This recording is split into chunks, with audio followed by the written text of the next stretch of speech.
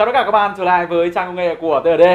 Thưa bạn, vậy là đêm ngày hôm qua, Apple đã ra mắt dòng sản phẩm mới đó là MacBook Pro dòng 14,2 inch và dòng 16,2 inch được trang bị cấu hình phần cứng phải nói là mạnh mẽ nhất từ trước đến nay.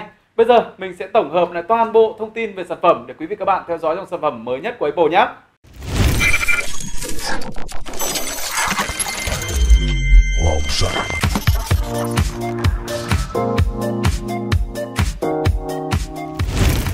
Vâng thưa các bạn, iPhone thì chúng ta có màn hình tay thỏ. Vậy thì MacBook bây giờ chúng ta cũng có màn hình tay thỏ các bạn ạ. Các bạn thấy là nó sẽ có hai kích thước là 14 và 16 inch. Đấy, nhìn rất là hay. Vâng thưa các bạn, là đáng chú ý nhất là chúng ta sẽ có màn hình với tần số quét nằm tươi lên đến 120 Hz các bạn ạ. MacBook Pro thế hệ mới mỏng hơn 60% và viền màn hình cạnh bên mỏng hơn đến 24% thế hệ cũ các bạn nhé. Rất là đẹp. Và đặc biệt là camera được nâng cấp lên 1080p. Các bạn đều biết bây giờ việc các bạn học tập và làm việc online ở ở nhà bây giờ cực kỳ quan trọng các bạn ạ. Với phiên bản Pro 16,2 inch thì chúng ta sẽ có độ phân giải của màn hình đó là 3456 x 2234 các bạn ạ. Trong khi đó phiên bản 14,2 inch thì sẽ có độ phân giải đó là 3024 x 1964. Cả hai đều sử dụng công nghệ mini LED của Apple, lần đầu tiên được phát triển trên phiên bản iPad Pro. Với công nghệ Pro Martion, tần số quét làm tươi 120Hz của Apple giúp tốc độ mượt mà, tăng tốc độ phản hồi hình ảnh tốt hơn.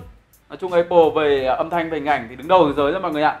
Và các bạn ơi, bây giờ thì mình sẽ xin nói thêm về con chip của máy nhé. Với chip M1 Pro và M1 Max các bạn ạ. Đấy, đây là con chip thế hệ mới nhé. Bộ đôi M1 Pro và M1 Max đều được xây dựng trên tiến trình chip của nó là 5 nanomet, kiến trúc ARM các bạn nhé. Trong khi đó hiện nay hầu hết trên laptop chip của Intel các bạn thấy là sử dụng tiến trình chip đó là 10 nanomet và AMD đó là 7 nanomet. Apple tiên phong về công nghệ chip 5 nanomet, chip M1 Pro được trang bị 10 lõi xử lý các bạn ạ, bao gồm 8 lõi xử lý hiệu suất cao và 2 lõi xử lý tiết kiệm điện. Đi kèm với bộ vi xử lý 16 lõi giúp cho chip M1 Pro đạt hiệu suất lên đến 70%, có nghĩa là nhanh hơn 70% thế hệ cũ. Trong khi đó phiên bản chip M1 Pro được hỗ trợ RAM tối đa đó là 32 GB RAM.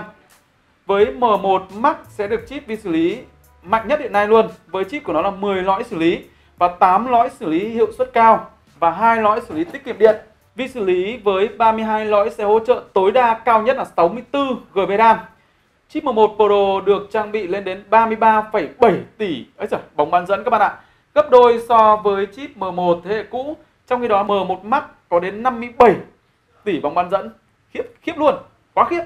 Cấu hình chi tiết bộ đôi MacBook Pro thế hệ mới Người dùng sẽ có tùy chọn Pro 16, 14 inch và 16 inch đi kèm với chip M1 Pro, M1 Max các bạn ạ. Với phiên bản chip M1 Pro, người dùng sẽ có tùy chọn RAM từ 16 hoặc 32GB. Còn sử dụng chip M1 Max, người dùng sẽ có tùy chọn bộ nhớ từ 32GB đến 64GB. Tất cả các phiên bản đều được tùy chọn ổ cứng với dung lượng từ 1TB lên đến 8TB. 8TB vẫn là bộ nhớ lớn nhất cho một chiếc MacBook hiện nay các bạn ạ. Cả hai phiên bản đều được trang bị cổng kết nối Thunderbolt HDMI, khe đọc thẻ nhớ.